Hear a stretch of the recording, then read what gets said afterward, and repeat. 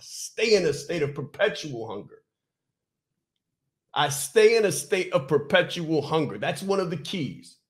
I stay in a state of com, com, so passionate about my purpose that nothing can distract me.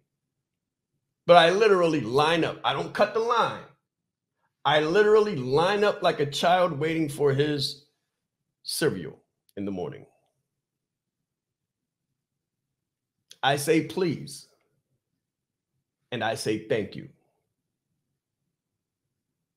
And when I what I get, I consume patiently. And I don't come right back. I trust that there will be food there later. I don't come right back. I want to go be effective with the food that I've gotten first before I try to put a million things on my plate.